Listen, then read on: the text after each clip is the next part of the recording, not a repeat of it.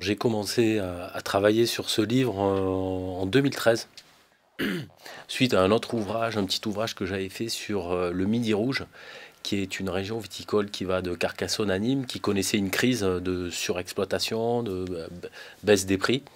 Et je découvre à ce moment-là qu'une autre sociologie viticole, beaucoup plus liée à des vins de qualité euh, produits à Bordeaux et, en Bourgogne, fait face à ce qu'on appelle un wine rush, euh, venu de Chine. Euh, et donc euh, mon enquête commence à Paris, dans un certain nombre de dîners où, les grands crus, bordelais ou bourguignons, reçoivent une clientèle chinoise. Et donc ce, nouvel engouement chinois m'amène à penser à faire une enquête ethnographique, écrite comme un road movie, qui se déroule à, Bordeaux, à Bonn en Bourgogne, mais aussi d'abord à, Hong Kong, puisque Hong Kong est la place forte de l'économie mondiale viticole aujourd'hui.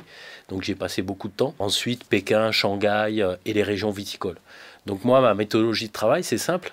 Je suis anthropologue, donc je m'immerge dans un milieu social et je pratique euh, l'observation participante. C'est-à-dire que j'ai passé beaucoup de temps à Hong Kong, par exemple, au moment de Vinexpo, dans des dégustations, euh, et j'observe et j'essaie de comprendre comment un milieu social fonctionne. Je trouve que ce qui est très intéressant dans la relation euh, entre la culture française et la culture chinoise à travers le vin, c'est tous les aspects ambivalents, contradictoires et complexes euh, qu'il peut y avoir. Euh, d'abord, ces deux cultures se connaissent mal.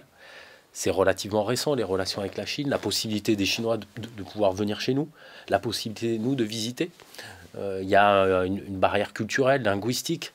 Et, donc, euh, il se trouve que euh, en même temps, euh, il y a des sensibilités communes dans certains domaines, et notamment la cuisine. La sophistication culinaire chinoise leur ouvre la possibilité de comprendre la culture du vin. Les, les, associations gustatives que peuvent faire les Chinois est assez proche de notre culture culinaire et l'association entre des boissons et notamment le vin qui reprend certaines caractéristiques du thé avec les terroirs, les tanins, euh, des millésimes, une manière de faire vieillir. Donc euh, voilà, il y, a aussi des correspondances, même s'il y a un éloignement culturel très fort entre les deux pays. Je pense qu'il y a une fascination réciproque. La fascination, elle vient euh, d'abord pour les Français d'un territoire inconnu. Donc c'est comme un nouvel Eldorado.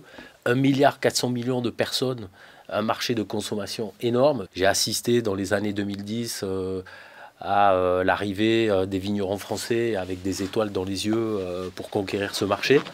Et j'ai vu aussi la fascination des Chinois pour nos vins et pour nos petits villages, parce que chez eux, l'urbanisation galopante, la transformation de ce pays fait que quand ils viennent dans nos villages, ça leur rappelle aussi leur propre culture rurale qui a été très importante dans la civilisation chinoise. Le vin peut devenir un trait d'union, puisqu'effectivement, euh, on assiste à une diffusion mondiale du vin, puisque les Chinois ne se contentent plus seulement d'en boire, mais ils en produisent aussi, avec 800 000 hectares euh, euh, de superficie viticole. la Chine est en train de devenir un des, plus grands vignobles au monde.